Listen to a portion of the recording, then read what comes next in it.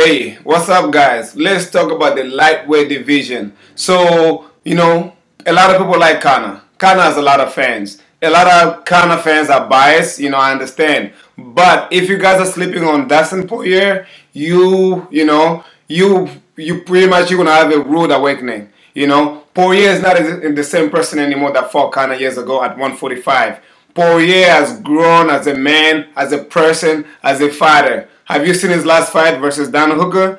I I kind of think that is the best fight of the year. You know, I made a video earlier this year saying that that was the best fight I've seen. Like like pretty much maybe like in general. You know what I'm saying? So um, if you're sleeping on uh, Dustin Poirier, you are in for a rude awakening. You're gonna wake up sad. You're gonna wake up sad. Um, um, this fight can go anywhere. I believe that it's a 50-50 fight, uh, fight now. Um, Dustin Poirier has become stronger. I don't think Conor can knock him out easily anymore like he did in the first fight. I believe that this fight is gonna go to um to distance, and we're gonna see who's gonna be the best man, who's gonna outpoint who, uh, who. But in my heart, I think like Poirier is gonna win. I think Poirier is gonna is gonna beat Conor. But this is very interesting. We will see who's gonna soon become the lightweight champion because whoever wins most likely will be fighting Gaethje. You know, because I believe Gaethje is gonna beat